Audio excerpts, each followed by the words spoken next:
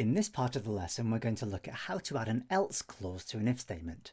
This allows us to perform one set of instructions when the if statement returns true, and a different set of instructions when it returns false. Let's start by opening up the file that I've already downloaded and extracted, and if necessary, click the Enable Content button to allow the existing code in this workbook to run. So what I've done is created, I guess, what is the most addictive game in history.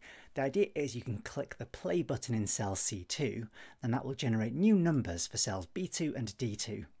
And the idea is that whichever player has the highest score is the winner. So assuming that you're not already addicted just to playing the game and seeing who wins, what would be really nice would be to add some extra code that indicates to the user visually which player has won.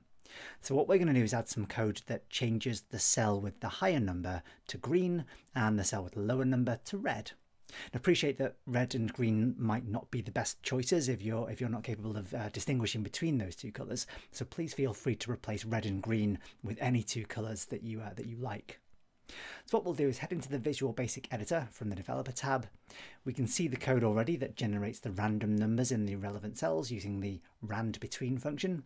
Feel free to adjust these numbers as well. If you don't want to go between 1 and 100, you can reduce those to get a smaller numeric range.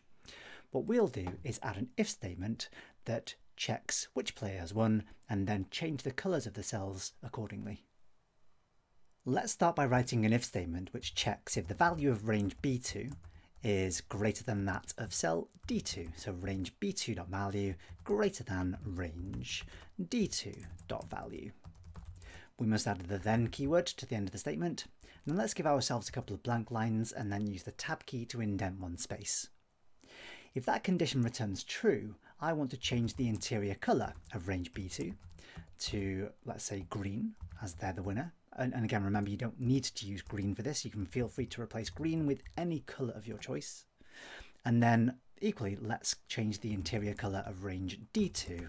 And in this case, I'm going to use red, but again, feel free to pick any other colour you like. So equals RGB red. As it's a block if, we need to write our end if statement. And there's the basic idea that, uh, that determines whether or not player 1 has won. So let's just go and give that a quick test. If I rearrange my screen so I can see both Excel and the Visual Basic Editor at the same time, if I click my play button now until player 1 has a bigger number than player 2, and it happened immediately, great. There we go, there's our basic code working. So we can clearly see when player 1 is the winner, but currently we don't have any code that checks when player 2 is the winner. So if player 2 has a bigger number than player 1, the cells just remain in this grey colour. So let's return to the VB editor and let's add some more code that will change the colours to the opposite way round if this condition is not true. To do that, we can add an else clause to our if statement. So between if and end if, we can add the else keyword.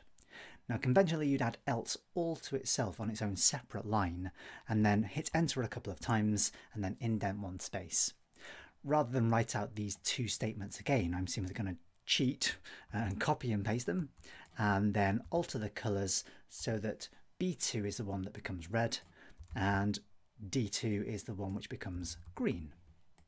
So at this point now we can indicate whether player 1 has won uh, and when, whether player 2 has won.